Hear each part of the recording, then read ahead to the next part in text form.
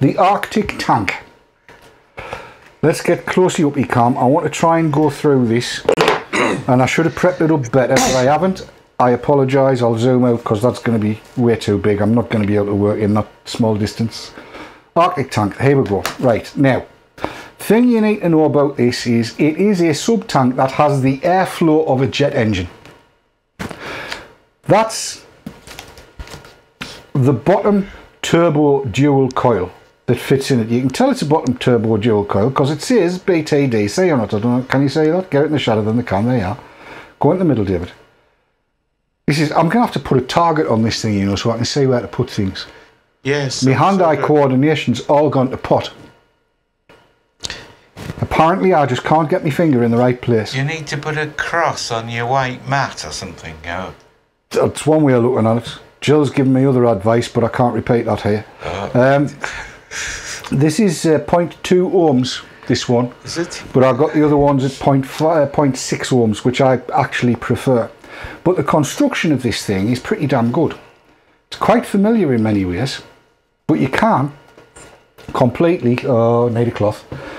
And that's it, why you're all over the floor. Why not? Right, cloth time. I always use a cloth because I've got very slippy fingers. I don't know why. It's because they get well lubricated. Right. Uh, there we go. It will completely disassemble. Which I think, oops, I've spilled me juice on the table. Where have you heard that before, Keith? this is your, your, your base piece. And you'll discover that the threading when it connects is in the bottom here. You see the threads down there? Use a pointer, David. There's the threads down there, look. So this screws onto the threaded section on here, right? Um, and when you put it back together, obviously you're going to be able to get replacement glasses for it. You'll see there's a threaded section in the top, threaded section in the top. So you just put those two together, screw it up, get it as tight as you like, and this is one of those times when tight is better. Give us a time when tight is not. I do like a tight fit. A good tight screw is what you need. I'm channeling Gary Dibley tonight. So just screw it until it stops. That's the easiest way. Um, you know how, how these coils go in. and I, But I want you to have a look down the centre of that. And look at how wide that is and then look at how much because this is the other one there's four of those bloody great big holes there Yes. that's airflow that is. That's what that is. That is airflow right? For comparison oh it's the same one. Ha, that's what I've used earlier.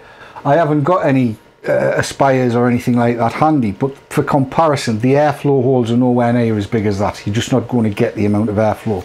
And you can see the size of the hole going up the middle. So again airflow lots and lots of airflow. The only bugbear I've got with this and it's really not that much is that it's a little bit of a bugger to fill because you've got to get the end of your dubry in that slot which is why I've taken to use a hypodermic with this Right. because I can get it in easier. And I've always said the easier you can get it in, the more fun you're going to have when you're pumping the juice out. So a small bottle would be no good. A snipe, snipe nose bottle's probably good. And you can fill it until, as you can see here, it's just getting on top of that little metal bit. Take no notice when they say don't do it, do it. And let's put the the thing back in. It screws together nicely. You don't get any of that O-ring hubris going on. And again, airflow. You saw that the the uh, the coil had four air holes in, and so has the Arctic tank itself. And they are adjustable, as you can see, and they are big. Right? You can, and I'll go to camera two. Even with it out on a, with it without it on a mod, you can breathe.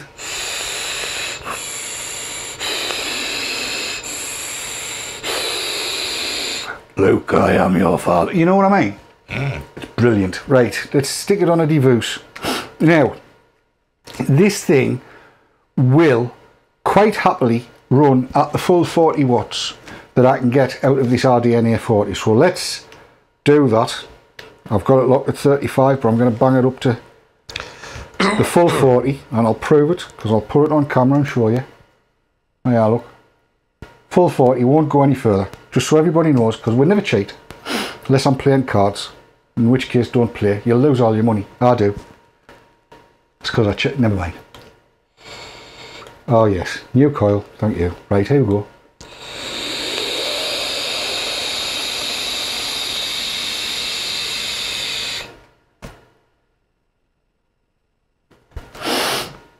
Oh, yes. Oh yes.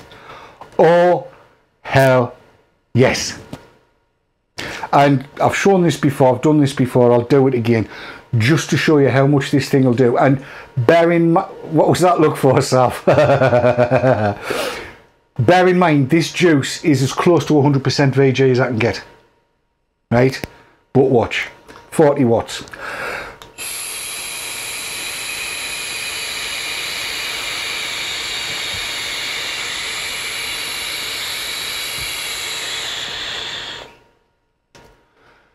Right? Right. Smells like a nightclub in here now. I'm just going to give it a second because that was quite a long blow and then give it a drag.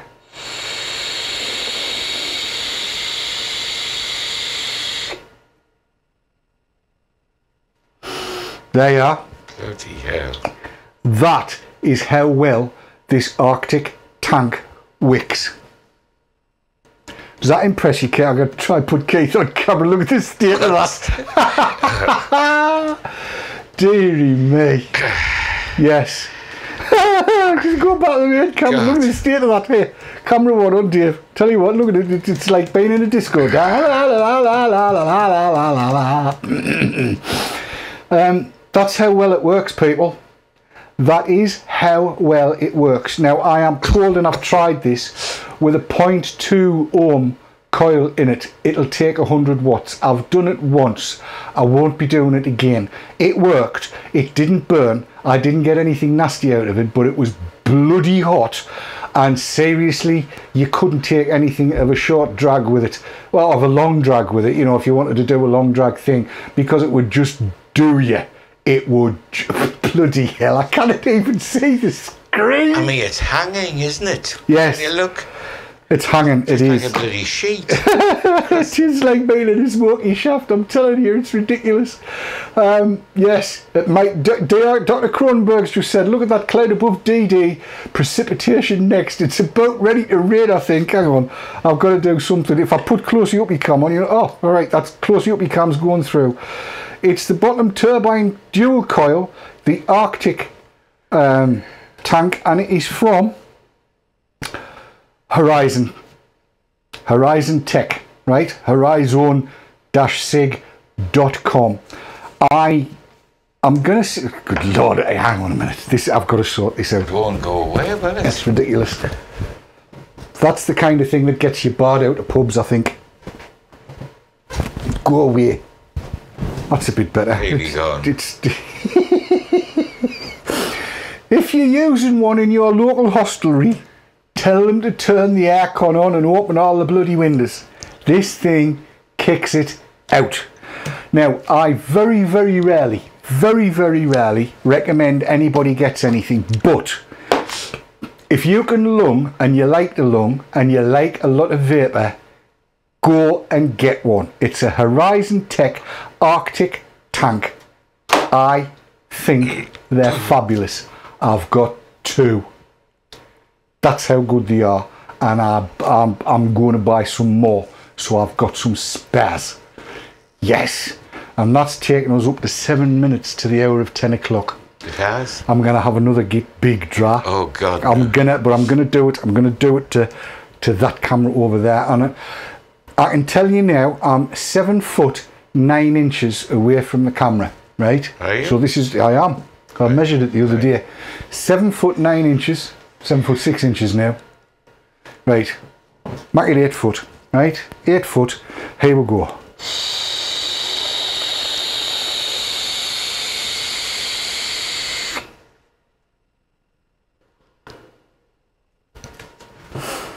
Way out from eight feet away.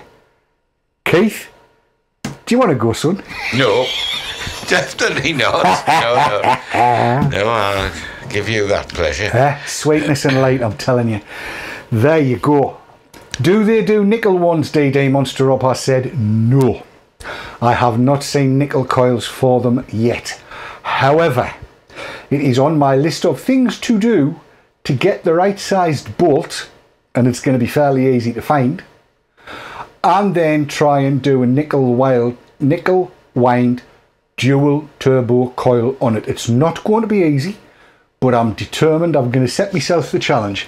I am going to say this though, it will be pre-recorded because there's no way I'm going to be able to do it in a 20 minute segment on this show because you know what I'm like. I am a klutz. Fat lad, big gob, fat fingers to match. I really am. So there you go. Chief Keith's got it right in chat. He says just do a search for Arctic Tank. Do it. Do it now. Well, not now. Do it at 10 o'clock when the show's finished. That's after you've watched ITV News. You might say somebody on there you recognise. Spot the Arctic Tank on the piece. It was in at 6 o'clock. It might be in even further at 10 o'clock. I don't know. It might be a little bit longer. Um, we're just about there. Is there anything you want to say to anybody, Keith? I don't think so. No. Go on. I'm very quiet tonight. I've just You are? been, uh, yes. I should have given you a pint of the cider. No, no, no. I think so. I think so. I think I'm going to ask Sav. Put your volume on, Sav. What? Do you fancy an Arctic tank? I do, yes, I do. Because you like lugging it, don't you? So they've just come out, have they? Uh, They haven't been out long, have they? it's not long, no. no. Two, three, four weeks, something like that. Um, they're in. they- They're not massively everywhere, but I think they will be. A cracking piece of kit, they really are. Uh, yes, I do fancy one of them. Yes. Very boring said he thinks that the head uses dual vertical coils. It does. Actually, I tell you what, because I took, I started taking one to bits the other day. So let's do some closey up cam stuff, and then you can, I'll see if I can get this close up enough that you can that you can make stuff out. Right. I tell you, you know you've got good airflow when you can get a screwdriver through it. Look at that. See that penetration. I'm just going to pull that bit out. And if you look inside, if I get the angles on this right, and it's not going to be easy to do, you can see, right, you might be able to see. Can you see just at about 10 o'clock, as you're looking at it, you can just see a little bit of insulation on the leg that goes up to the top coil. That's the positive leg that goes up the top coil. You can just see it at around about between 9 and 10 o'clock. There's a little bit of insulation there, um, which is attention to detail. But you can definitely see that there's two wires in the pause. And if I swizzle it round a little bit, oh, the parrots have heard us, have they? Yes, I just turned you off there because the parrots are like, oh, I know that one. And you can just see there. I can't get any closer, I'm really sorry, but you can just see two bits of wire sticking out there. So it's definitely dual vertical coils. And looking at the way that uh, that bottom end, I mean, just look look at the size of the air hole there. It's huge. That is ginormous. So I'll shove that back in because I don't want to knacker that coil because it's a good one. Um, yes, I really, I really rather like that. I really, really do. It's good. Works well. Works very well. Really does. And with that, I think what I need to do is let you know what's coming up um, over the next week or two. Uh,